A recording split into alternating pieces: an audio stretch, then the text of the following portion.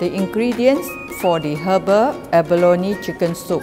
Two chicken thighs blanched and a handful of baby abalone, 10 grams of cordyceps flower, 4 soaked Brazil mushroom or more, 1 tablespoon of wolfberries, and 800 grams of light chicken broth and 2 tablespoons of the Hui Qi waist tonic which is also very good for revitalizing and also good for qi.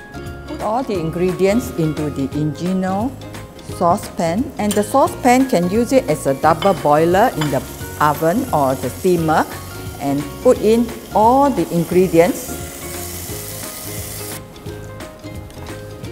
The abalone and the wolfberry will add during the last 15 minutes when the soup is done. When the soup is rolling boil, we will just cover. 35 minutes is up. You can remove the cover, put in the abalone and the wolfberries,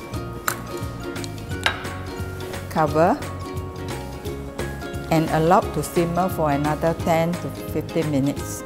Once 10 minutes is up, you may remove the soup from the stove, place it onto the dining table and remove the cover, remove the handle and enjoy.